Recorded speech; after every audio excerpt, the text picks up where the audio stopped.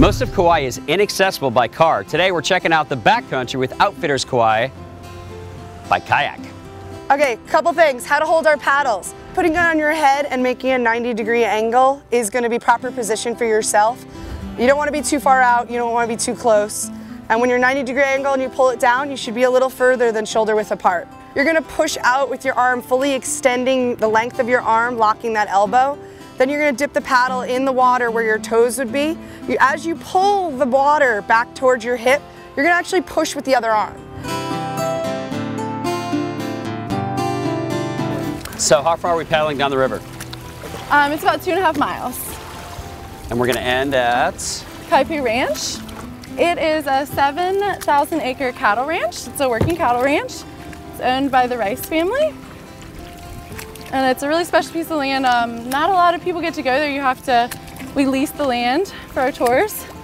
But the only other way to be on the ranch is to get invited there.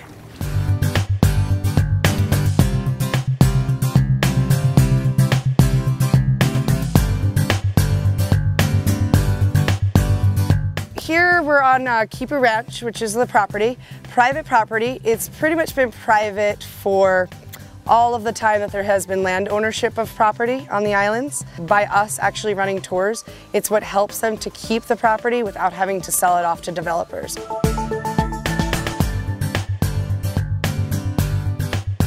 This is what they make the poi out of. Has anybody heard of poi before? Yeah, Oha is part of Ohana, and that would be what the roots are called. And that's where they developed the name of Ohana because they felt that their family were like the roots of the, of the taro plant. Um, and you need your strong roots and foundation and family to grow.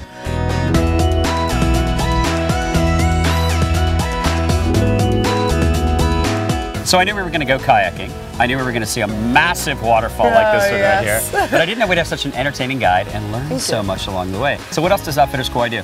Um, we do zip lining. We also have ocean kayaking and a downhill bike tour. Um, everything that's involved with kayaking usually has a hike along with it, just to kind of give a little bit yeah, more. That was fun. See the interior of the island, see the beauty that we have here. I'm about to touch this water. Oh, yes, you Are you going to do it? Uh, I'm going to be there and be your lifeguard because a dry lifeguard's a good lifeguard. All right, fair enough.